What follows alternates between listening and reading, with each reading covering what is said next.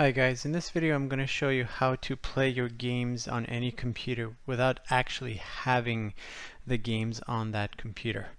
Um, so if you're like me, you're going to have multiple computers. Uh, maybe you have a laptop for your work, maybe you have a computer in the bedroom, maybe in the living room, and anytime you want to play uh, games on the computer, you're going to have to copy those game files over uh, to the new computer. Well, no more because with Emulation Ninja once you install uh, Emulation Ninja on on a computer with the games on it you can access those games from other computers without having to to copy them over. So let me show you exactly what I mean. Uh, let's log in here as a user. So I don't have any games on this computer.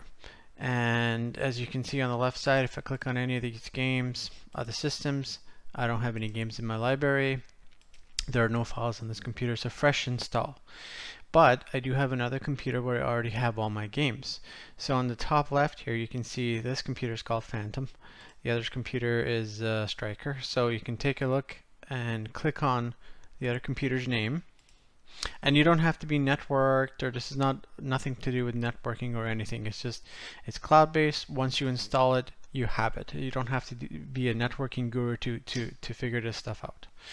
Um, so once I click on Striker, now uh, I'm connected to Striker. I click on any of these systems and I have tons and tons of games.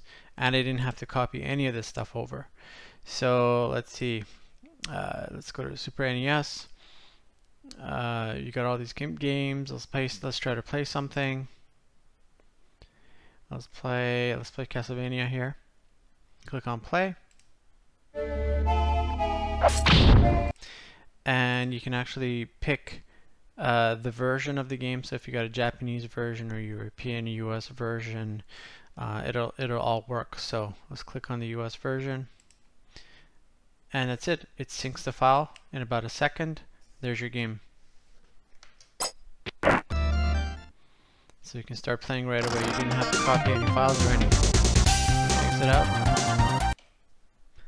and that's it. It's super simple. Uh, like I said the, the way it'll work is you you install emulation ninja on the computer where the games are. And then if you got a new computer or a different computer you install emulation ninja and automatically they speak to each other through the cloud as long as you have an internet connection this works.